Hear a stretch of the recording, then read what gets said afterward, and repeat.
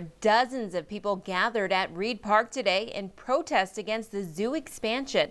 According to Tucson City Council members, this multi-million dollar project has been in the works for years. News 4 Tucson's Austin Walker reports. Here at News 4 Tucson, we've been following this story from the very beginning. People say the Reid Park Zoo expansion is disrespectful, but the city council says there have been dozens of meetings where people could have come out to make their voices heard. Regardless, they're at a standstill. We just don't think that people are thinking. Manon Getzi and hundreds of others flooded Reid Park Sunday afternoon in protest against the Reid Park Zoo expansion, ultimately taking away 3.5 acres of park space from the public, including the duck pond and Barnum Hill. What are we going to do if they take it? To Getzi, this space is full of more than just grass, but cherished memories. i am hearing stories from and have photos of people who had their weddings right there.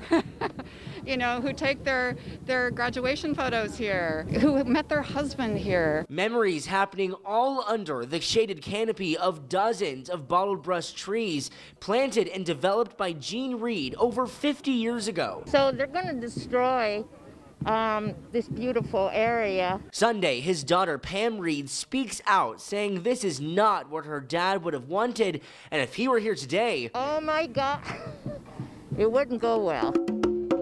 As the drums continue to ring, we touched base with Councilman Steve Kozachik during the demonstration. Well, their voices have been heard. He says the council has another plan in place hoping to accommodate the community. Uh, I am already working with the city manager and our parks director on identifying an alternate location to put in new amenities. A water feature will be eliminating some of the asphalt to expand the turf area so we're going to provide an amenity that's superior to what's there already. Getzi says she hopes these signs and flags speak volume and the council reconsiders their decision, leaving Reid Park the way it's been for decades. Destroying wildlife to save wildlife makes no sense. Councilmember Kozachik says the zoo brings in over half a million people every single year, so an expansion is needed, but people wonder if there is a different option. We've got you covered from the north side. I'm Austin Walker, News 4 Tucson.